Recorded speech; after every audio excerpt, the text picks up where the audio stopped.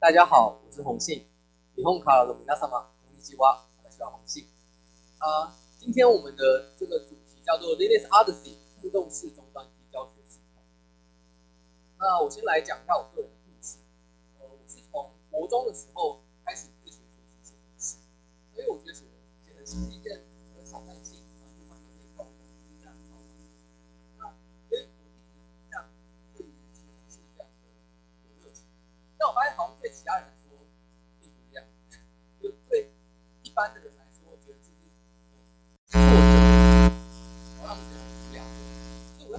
为什么？他们没有办法体验到我体验到那种乐趣？我觉得有几些有一些原因。首先，呃，学校的资讯教育，它其实很多时候还是缺乏动手操作，老师可能还是花大部分时间是在讲课，而不让学生去练习。然后再来是设定开发环境这件事。开发环境它是呃我们在写的时候写程式的时候需要用的工具，那其实是一直在改变，所以老师也不一定那么？熟悉。那学生在回到家之后，如果他没有能力去自己设定开发环境，他就很难再回到家之后自己做练习。再来是这个我们一般上课这种单向式的知识传递，它其实是呃不容易吸收的，尤其是像写程式这样的能力来说，它更重要的是你要实际去操作。所以说，我们这个网站的特色呢，它就是在我们网站上面提供一个你不用去安装，只要打开网站就可以使用的操作环境。然后我们有互动式的课程引导，并且是你打指令打一行，然后就是我们会有更新的这个课程的说明，让你在实际操作中去学习。呃，这是我们的那个截图，所以可以看到我们主要网页有几个区块，这边是你一开始这个关卡。它的课程的任务内容，然后这边是你要实际操作的终端机。那在你这边打指令之后，这边就会出现提示，来告诉你说这次教的教学内容的一些说明，还有你下一个步骤该怎么做一些提示。那我们接下来就来立刻来看我们的成果影片。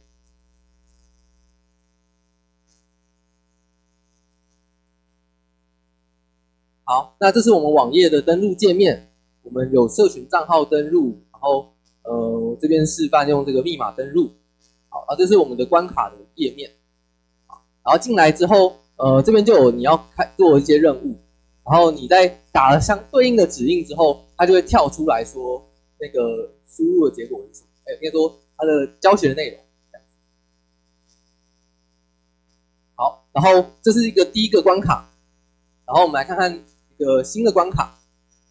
呃，好，这是重来的按钮。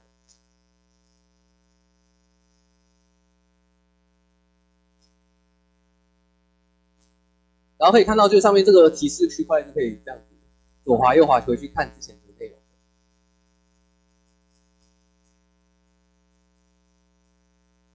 好，然后我们另外有做一个叫做档案数的 UI，在这一块。那这一块就是你在做一些，比如说 LS 是一个用来列出终端机内的档案的功能，它就是可以去呃看终端机有哪些档案。然后你在打 ls 之后，这边就会 ui 就会进行更新，这边就会列出来说你现在位置在哪里，然后底下有哎有这两个资料夹。那我们可以看到，我们在进到不同的资料夹去做 ls，然后这边也会哎移动过来，光标就移动过来。所以我们就利用了这样的视觉的辅助工具，去帮助使用者更了解终端机内发生了什么事。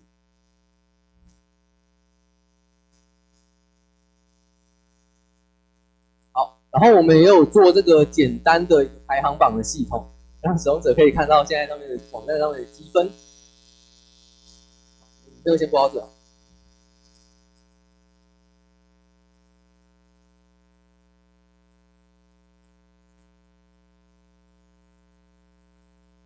好，那我们这是我们的简单的技术架构图。那我们的后端是用这个 Node.js 去写的，然后我们是透过 Node.js 去操作那。个 Docker，所以说每个使用者他打开了一个终端机，其实是我们在后台帮他建立了一个真正的 Linux 服务器，然后透过网络连线的方式把它连接到网页上。所以说使用者操作的都是真实的一个 Linux 环境，而不是在网页上的模拟器。然后我们前端则是用 Vue 的方式去 Vue 的方式去写的。那我们后面有用一个 MongoDB 的 database 去储资料。然后我们此外还有做一个管理员的后台，可以去观察现在的使用者人数。好，那我们这个我们这个专案有去参加那个大专资讯服务应用比赛，然后拿到了敏捷开发奖的第二名。然后此外，我们有到台中市的福科国中去为呃一百八十位的国中没有基础的学生，去带他们的电脑课，让他们去使用我们这个系统。然后根据我们的统计，有半数以上可以只靠我们的教学系统，不依赖我们助教协助，就可以自行完成这些课程。那这是我们在呃初选的时候写的未来展望。那我们在这一次已经完成了第一项任务，就是用 Type Three 重构，所以我们现在系统是已经有一个行别的状态，更安全了。那我们有调整一下我们的任务，我们希望下一阶段先来做一个 Git 的系列教学课程，因为我觉得 Git 的教学是非常适合用我们这个系统来进行的。好，那最后就是呃，我们希望可以为世界提供更简单而有趣的资讯教育。谢谢大家。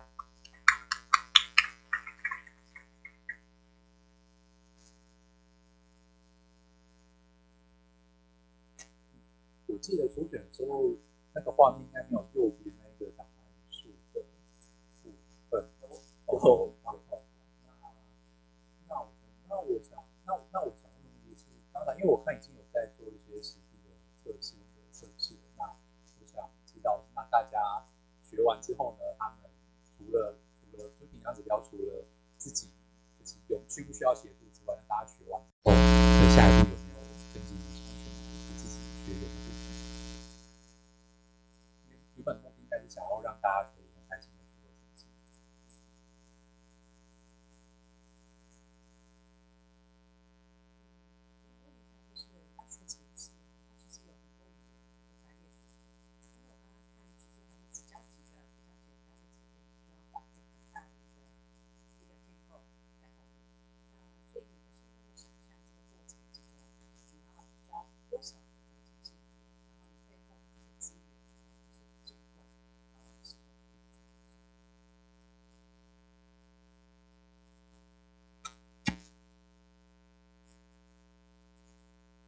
呃，我觉得是从你们真真实的经验开始的这样的例子。你你们在长期这个也这样伙伴团队的经经营上，如果你们渐渐的从新手变得老手，然后你可能就体会不到新手痛。那新手遇到未来痛苦，要怎么样进入到这个专业一个新的界面、新的教案的需求？怎么样维系这个开发团队？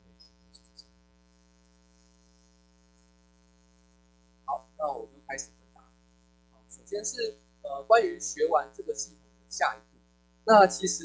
刚才影片只有很快的带一下我们的主题，我们现在上面还只有十个关卡，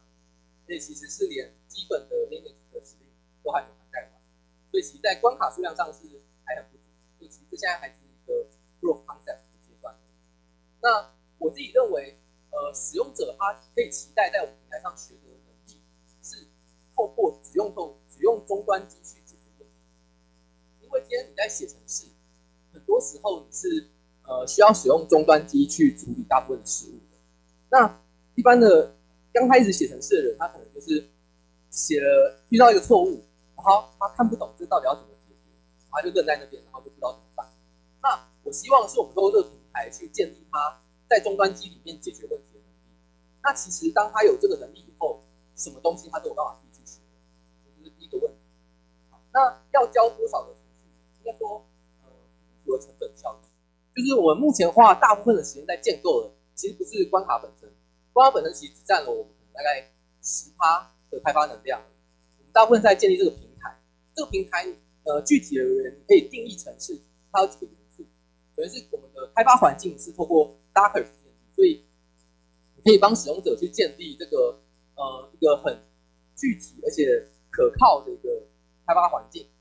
然后再来，我们有这个互动式的教学系统，所以你可以做引导式的教学，让你今天不需要写一个乐乐等的文章，而是把它切分成很多个步骤，让使用者一步一步去做，然后同时提供意外处理。所以说，呃，我们最后是希望把这个平台变成是让公众都可以参与去建构关卡。所以说，一般的老资讯老师，他也可以针对他的课程去写一个关卡，来纳入他的教学系统。那最后一个问题是如何维持开发团队。好，所以呃，其实我们很知道，就是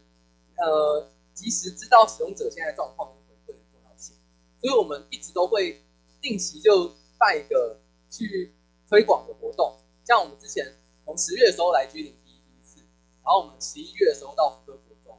然后我们在呃一月的时候再来这边，然后现在又来这里，所以我们还有五月的时候我们有报名场地，